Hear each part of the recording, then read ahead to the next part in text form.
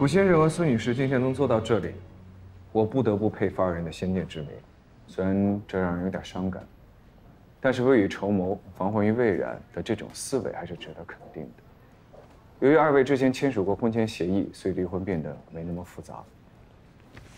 根据婚前协议第八款第六条，古先生和孙女士婚姻破裂，二人将进行夫妻共同财产的平等分割。那么我计算了一下，这是婚后二人夫妻共同财产的清单，不知道顾律师和孙女士是否有异议？看来古先生对婚后夫妻共同财产的认定存在很大的偏差，我方有必要对此进行提醒和纠正。这是我方提请独立第三方对孙女士和古先生的婚后共同财产进行的核定，请过目。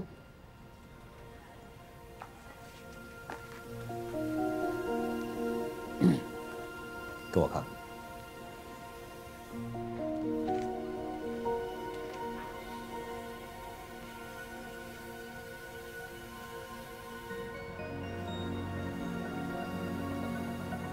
有这么多吗？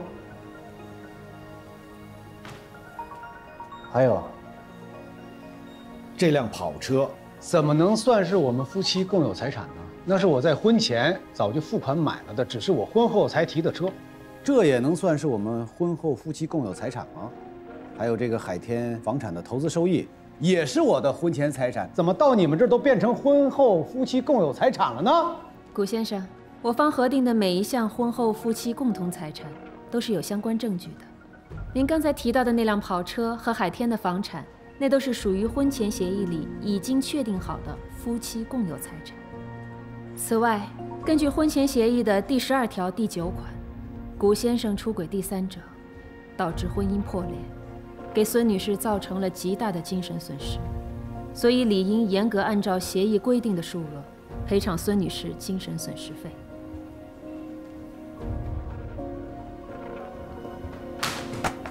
孙薇，你不要胡思乱想、胡说八道。顾律师，你也不能捕风捉影，造谣污蔑、毁坏我的名誉。如果你们要这样的话，我追究你们的法律责任，古先生，您对这些照片一定不会陌生。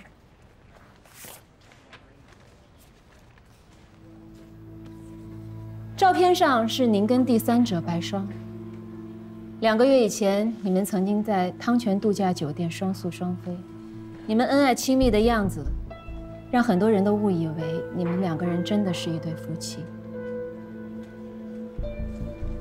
还有这一份承诺书，您承诺他年底之前会娶她。您在签这份承诺书的时候，包括现在，您都还是孙薇薇女士的丈夫。